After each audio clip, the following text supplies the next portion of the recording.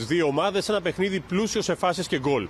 Ο Γκάρι Ροντρίγκες πέτυχε τα δύο του πρώτα τέρματα με την ομάδα του Ολυμπιακού απέναντι σε έναν Παναιτωλικό ο οποίος ήρθε με πάρα πολλές απουσίες στην Αθήνα. Κοινό στοιχείο και των δύο ομάδων ότι ο Φαντιγκά για τους Ερυθρόλευκους και ο Λάρσον για τους Αγρινιώτες έκαναν τον ντεμπούτο, ενώ προβληματισμός στον Ολυμπιακό με τον Λαλά, ο οποίος έχει διάστρεμμα στην ποδοκνημική. Πριν καν συμπληρωθεί το πρώτο λεπτό του αγώνα, οι Ερυθρόλευκοι άνοιξαν το σκορ. Ο Λαλάς σέντραρε, ο Ελ Αραμπί πήρε την κεφαλιά, ο Ανέστη απέκρουσε και με κοντινή προβολή ο Βολμποενά έκανε το 1-0 για τον Ολυμπιακό. Λίγο αργότερα, στο τέταρτο λεπτό, οι γηπεδούχοι διπλασίασαν τα τέρματά τους μετά από φάση διαρκείας. Ο Αντιπού Καμαρά σούταρε, ο Ανέστη απέκρουσε δύσκολα, ο Ελαραμπή στη συνέχεια σημάδεψε το δοκάρι και στην επαναφορά ο Γκάρι Ροντρίγκες με το πρώτο του γκολ με την Ερυθρόλευκη Βανέλα πέτυχε το 2-0 για τον Ολυμπιακό. Νομίζω πως πραγματικά αν δεν ήταν το καλύτερο ξεκίνημά μας, ήταν ένα από τα καλύτερα που έχουμε κάνει. Σκοράραμε πάρα πολύ νωρίς. Αυτό μας βοήθησε στη συνέχεια του παιχνιδιού. Γενικότερα ήταν ένα παιχνίδι με πολλές ευκαιρίες. Νομίζω πως θα μπορούσαμε να έχουμε βάλει και άλλα γκολ. Είχαμε τις ευκαιρίες απέναντι σε έναν καλό αντίπαλο με ποιότητα, ο οποίος επίσης δημιούργησε ευκαιρίες. Είναι κρίμα που σήμερα δεν υπήρχε κόσμος σε ένα τόσο όμορφο παιχνίδι, όπου και οι δύο ομάδες έπαιξαν για να βάλουν γκολ και οι δύο ομάδες έπαιξαν για να, για να κερδίσουν. Η απάντηση του Πανετολικού ήρθε στο 8 λεπτό με την κεφαλιά του Βέργου που σταμάτησε το δοκάρι. Ο Βέργος απείλησε και στο 22. Ο Ντουάρτε έκανε τη μακρινή σέντρα. Ο επιθετικός του Πανετολικού ακούμπησε την μπάλα, αλλά ο Βατσλίκ σε δημότα απέκουσε με δυσκολία.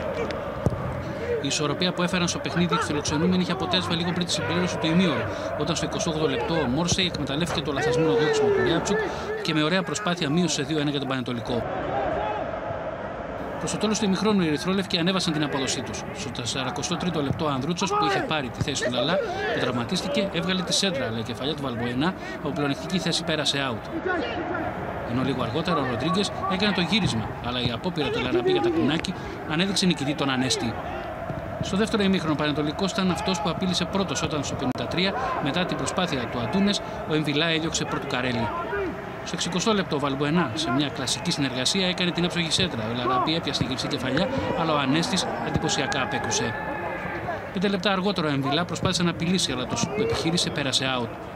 Στο 66 ο Πανετολικός έχασε μεγάλη ευκαιρία να ισοφαρίσει, αλλά ο Καρέλης μετά τη σέντρα του Ντουάρτε δεν μπόρεσε να σκοράρει από πολύ καλή θέση. Νομίζω είχαμε αρκετές ευκαιρίες παίζοντας στον Ολυμπιακό στο Καρεσκάκι και θα έλεγα ότι η πιο κρίσιμη στιγμή ήταν η φάση του Καρέλη. Γιατί αν κάνει ο Καρέλης το 2-2, εκεί σίγουρα θα βλέπουμε ένα άλλο μάτς τα υπόλοιπα 20-25 λεπτά. Αλλά αυτή είναι η διαφορά ότι ο Ολυμπιακός ένα λάθος μας τιμωρεί, ενώ εμείς χρειαζόμαστε πολλές ευκαιρίες για να βάλουμε κάποιο γκολ.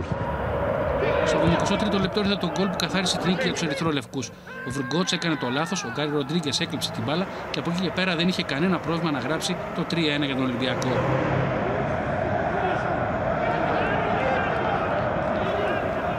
Ο Πανετολικό προσπάθησε να αντιδράσει μετά το σοκ του γκολ, αλλά το μόνο που κατάφερε ήταν το ωραίο σουτ του Φλόρες που απέκτησε με δυσκολία ο Βατσλίκ. Παράβαση για offside. Βλέπουμε όμως offside δεν υπάρχει γιατί ο παίκτης του Ολυμπιακού ο οποίος γίνεται αποδέκτης μετά από το δοκάρι μπάλα χτυπάει στον τερματοφύλακα και το γκολ ήταν κανονικό και καλός μέτρηση. Εδώ η του Ολυμπιακού ήταν παράβαση για χέρι, για πέναλτι εδώ στην περιοχή.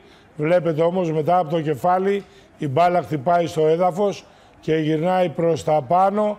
Το χέρι μπορεί να είναι τεντωμένο, η μπάλα περνάει από κάτω και πηγαίνει στο πρόσωπό του και σωστά διαιτής και βαρ συνέχισαν το παιχνίδι και δεν δώσαν τίποτα. Αυτές ήταν οι φάσεις. Ωραία. Ο Ολυμπιακός